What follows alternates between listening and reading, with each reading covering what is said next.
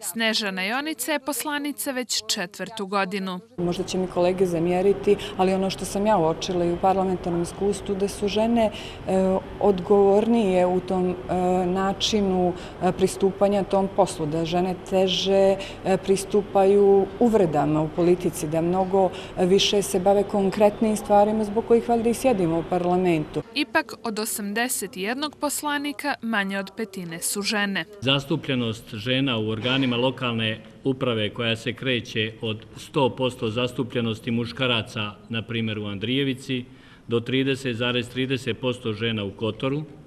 Zatim imamo tri žene na ministarskim mjestima i sve to predstavlja do sada najveći procenat kada je u pitanju participacija žena u političkom i javnom životu ali i činjenica da je i za stolom gdje se raspravljalo o ženama u politici jedino moderator bila žena, govori o tome da li je dovoljno učinjeno. 2009. smo imali svega 15% kandidatkinja na listama, na e, tadašnjim izborima, dok ove godine imamo 30% na listama e, sahvaljujući e, kvotama. Ipak taj procenat nije prenesen u parlament. U dvije najveće partije na prvoj polovini liste nalazi se više struko manje žena nego na drugoj polovini.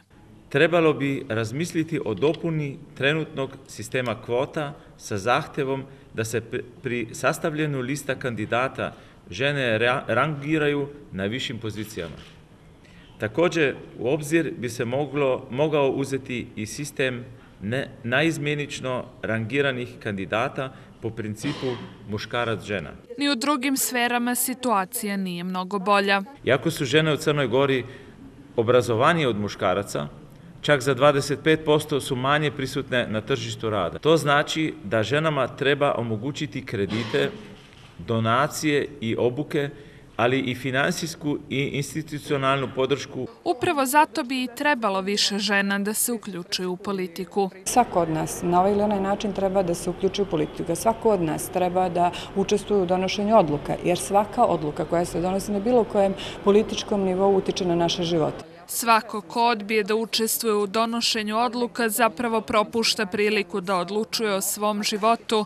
Ovo je poruka svima koji smatraju da ženama nije mjesto u politici već kod kuće, a to, kako je pokazalo istraživanje, ne misle samo muškarci, već nažalost i žene.